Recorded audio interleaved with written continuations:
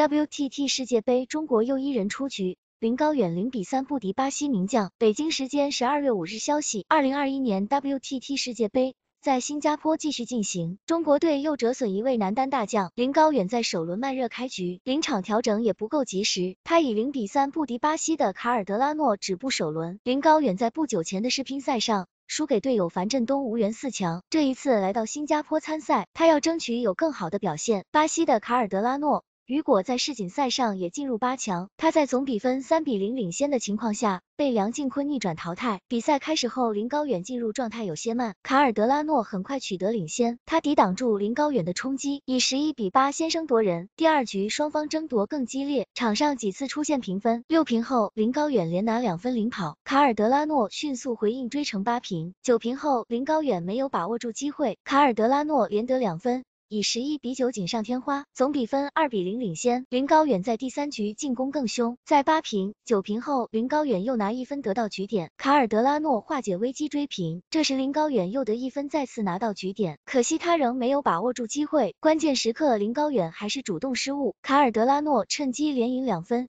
以十三比十一拿下，总比分三比零横扫林高远。另外两场比赛中，日本的张本智和以三比零淘汰瑞典的法尔克，中国香港的黄镇廷。以三比一击败法国的盖兹。